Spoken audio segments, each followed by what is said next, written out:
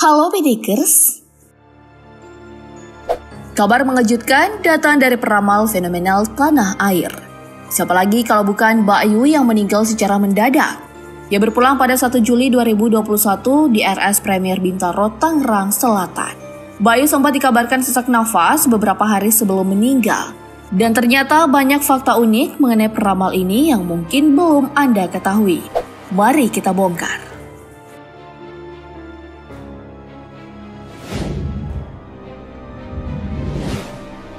Kamu mungkin masih ingat dengan ramalan pesawat jatuh Mbak yang menggemparkan tanah air.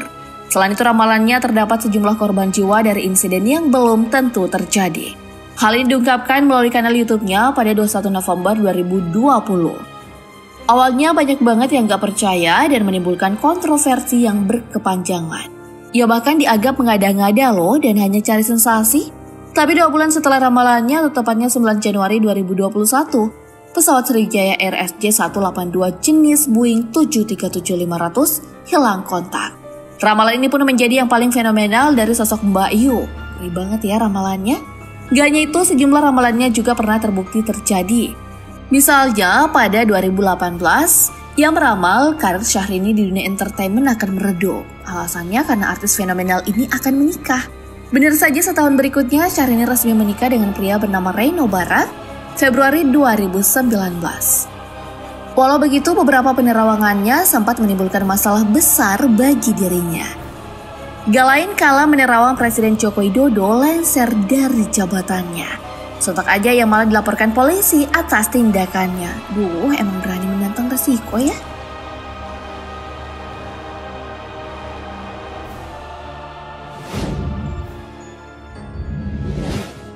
Yang namanya ilmu pastinya nggak didapat begitu aja, butuh proses dan waktu yang cukup lama.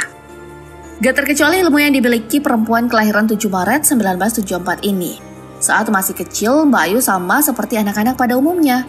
Ia juga mengenyam pendidikan formal dari tingkat bawah sampai atas. Bahkan mendapat beasiswa di salah satu perguruan tinggi di Yogyakarta. Uniknya nih, semasa berstatus mahasiswi, ia memiliki hobi mengutak-atik alat elektronik – dari keahlian ini, Mbak Yu mampu merakit radio, bikin alarm yang menghasilkan uang dari keahliannya, dan selepas dari bangku kuliah, perempuan kelahiran Salatiga ini bekerja di ibu kota Jawa Tengah yakni Semarang. Tahu nggak pekerjaannya adalah seorang desain interior? Tapi sebenarnya nih, Mbak Ayu ini sangat mengenal ilmu spiritual sejak masih kanak-kanak loh karena emang terlahir dari keluarga paranormal. Kakek dan neneknya yang berprofesi sebagai paranormal adalah contoh kedekatannya dengan bidang ini. Begitu juga dengan sang ibu yang juga seorang paranormal sekaligus guru spiritualnya. Di awal mengenal ilmu ini udah banyak banget orang menggunakan jasanya. Dari segi pengobatan medis misalnya, kabarnya Mbak Yu bisa menyembuhkan pasien yang menderita sakit demam atau orang menderita koreng. Hebatnya nih proses penyembuhan hanya dijilatin doang atau pasiennya dipegang aja. Mau banget kan? Nah, ada juga loh sampai menggunakan jasanya untuk keperluan judi togel. Aduh, jangan ditiru ya.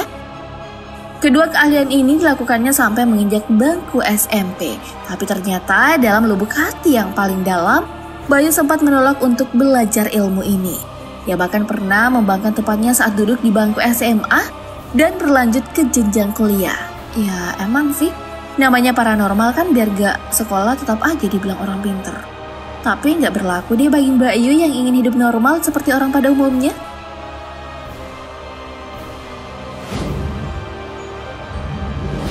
Walaupun sempat menolak memiliki ilmu spiritual, tapi apa mau dikata, ilmu ini telah mendarah daging sampai-sampai Bayu terlanjur terkenal sebagai orang pintar.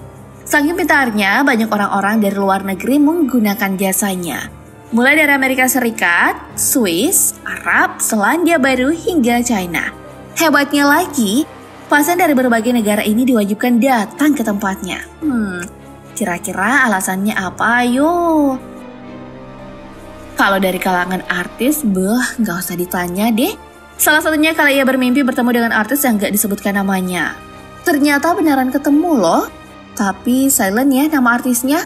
Nah, setelah terkenal luas hingga jadi seleb spiritual, udah banyak tuh artis-artis tanah air yang berkonsultasi dengannya.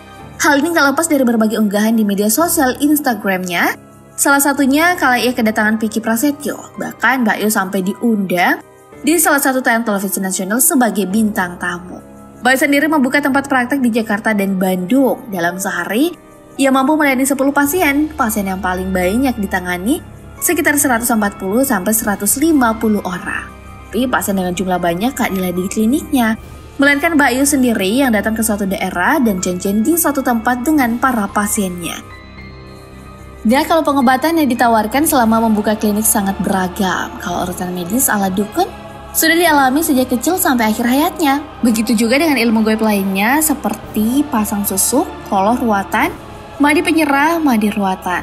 Ia juga menawarkan praktek gurau, vagina, dan lain-lain. Dari pengakuannya, kebanyakan datang untuk pasang susuk berlian. Selain itu, pasang susuk penglaris, susuk pengasihan hingga mandi penyerah yang juga paling diminati.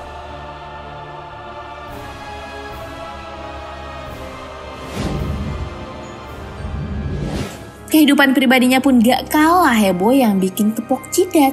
Kalau orang menikah pastinya akan tercatat di KUA, sementara Mbak Yu ini nikah tapi nggak tercatat sama sekali oleh negara. Bukan kumpul kebo atau nikah siri ya, melainkan nikah goib.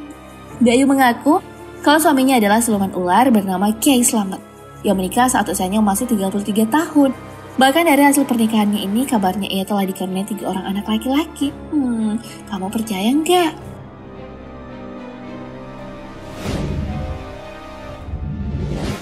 Nah, orang yang memiliki kemampuan spiritual memang kerap bikin hal yang menghebohkan. Bayu misalnya, ramalan yang beberapa di antaranya terbukti menjadi contoh ilmu dimiliki. Selain itu, ia juga ternyata bisa meramal diri sendiri tentang kapan akan meninggal dalam kanal YouTube yang beredar pada 2020. Perempuan bertubuh gempal ini mengaku bahwa akan meninggal dalam waktu dekat. Alasan ia akan meninggal karena sakit. Lantas yang terjadi memang benar adanya ya? Gak sampai di situ. Ternyata ada orang lain loh yang meramal Mbak Yu juga akan meninggal pada tahun ini.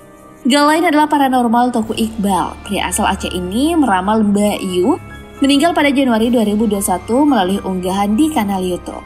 Dalam ramalannya, Mbak Yu akan dikerumuni orang banyak dan akan meninggal pada tahun ini. Gimana? Kamu percaya nggak dengan ramalan ini?